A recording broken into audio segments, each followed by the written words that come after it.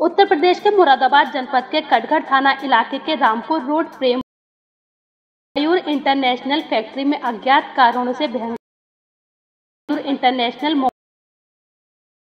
मोमबत्ती मैन्युफैक्चर करने के लिए भारी मात्रा में मोम रखा हुआ था, जिसमें अचानक आग लग गई। आग इतनी भयंकर थी कि देखते ही देखते आग ने फैक्ट्री को चारों तरफ़ से लपटों में घेर लिया। आग लगता देख वॉचमैन ने फायर ब्रिगेड को सूचना दी। सूचना मिलते ही फायर ब्रिगेड की पाँच गाड़ियाँ मौके पर पहुँच गई और आग बुझाने के लिए रेस्क्यू शुरू कर दिया। आग में जलकर लाखों रुपए के नुकसान की आशंका जताई जा रही है। कटगढ़ थाना इलाके के मयूर इंटरनेशनल मोमबत्ती की फैक्ट्री में अचानक भयंकर आग लग गई। आग इतनी भयंकर थी कि आसमान में चारों तरफ़ धुएँ का काला बादल छा गया। फैक्ट्री को आग ने चारों तरफ़ से लपटों में घेर लिया। आग लगता देख, फैक्ट्री के वॉचमैन ने आग लगने की सूचना फायर ब्रिगेड की टीम को और फैक्ट्री मालिक को दी। सूचना मिलते ही फायर ब्रिगेड की पाँच गाड़ियाँ मौके पर पहुँच गई और आग बुझाने का प्रयास करने लगी। फैक्ट्री में मोम होने के कारण आग बुझने में समय लग रहा है, लेकिन फायर ब्रिगेड की टीम लगातार आग बुझाने का प्रयास कर रही है। फैक्ट्री मालिक की माने तो आग से फैक्ट्री में काफ़ी नुकसान हुआ है और शॉर्ट सर्किट के कारण आग लगी है। ये फैक्ट्री किस नाम से है? मयूर इंटरनेशनल। अच्छा क्या क्या वजह रही आग लगने की? शॉर्ट सर्किट हो शॉर्ट सर्किट हो मतलब फैक्ट्री कोई लापरवाही नहीं है। नहीं तो संडे है बंदे लापर फैक्ट्री की क्या लापरवाही? नहीं नहीं जिस तरह से फैक्ट्री में आग लगी है कुछ शॉर्ट सर्किट लग नहीं रहा। शॉर्ट सर्किट हुआ तभी तो ये हमने क्या करें कुछ गार्ड है सारी ना चारों तरफ़ आग दिखाई दे रही है। नहीं चारों तरफ़ का एक कोने में लगी है उसी की आगे। किस चीज़ की फैक्ट्री है ये? ये मोम की वो है गोडाउन है। लगभग कितना माल आपका जल चुका है? इसमें? अब अंदाज़ा नहीं तो देखना पड़ेगा समझना कितना नुकसान मानते हैं आप? कह नहीं सकते देखते पता चलेगा। ये रामपुर रोड पे मयूर इंटरनेशनल कोई मोम की फैक्ट्री है जिसमें बता रहे हैं कि मोमबत्ती बनाने का कार्य किया जाता था।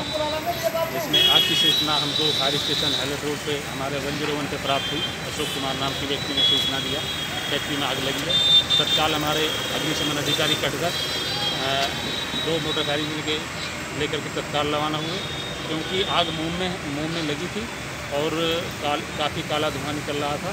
ये देखते हुए हमने जो अन्य गाड़ियाँ हैं तत्काल उनको भी रवाना किया गया। पाँच गाड़ी हमारी लगातार मौके पर कार्य कर रही हैं और जो ये आग है मोम की आग को बुझने में थोड़ा वक्त लगता है क्योंकि इसमें मोम की जो आग की कैटेगरी है वो ए क्लास ऑफ़ फायर की बजाय बी क्लास ऑफ़ फायर में होती है और वो उसमें थोड़ा बुझाने में भी वक्त लगेगा। वैसे आग नियंत्रण में है कोई जनहानि नहीं। अच्छा सर इसमें कोई धमाका सुनने में सिलेंडर भी फटा है। हाँ जैसे ये इंडस्ट्री होती है तो उसमें कहीं ना कहीं कहीं ऑक्सीजन का यूज़ किया जाता है कहीं एलपीजी का यूज़ किया जाता है। संभवतः किसी कारण कोई सिलेंडर रहा होगा। उसके बारे में ये तो जानकारी में नहीं आया है कि वो सिलेंडर ऑक्सीजन था या एलपीजी था।